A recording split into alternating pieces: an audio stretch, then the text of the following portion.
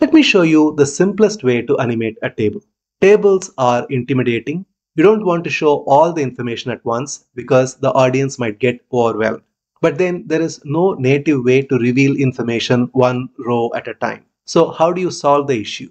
There are many workarounds, but the simplest one is what I'm going to tell you now. Let us go to shapes. From rectangles, let us pick up the rectangle tool and then draw a rectangle like so and make sure that the width is exactly in line with each of the rows. Can you see here? This is the first row. Now let me make a duplicate of this by pressing Ctrl D and then let me place it right below this and then let us adjust the position of this. Now, if you want to see this better, you can always add a bit of transparency. Let me show you what I mean by that. Let us press Ctrl D again. And this time, if I want to see this properly, let me go to format shape, go to fill and increase the transparency just a little bit so we can see what is underneath. And then we can adjust the width like so. And then keep doing that for the rest of the table.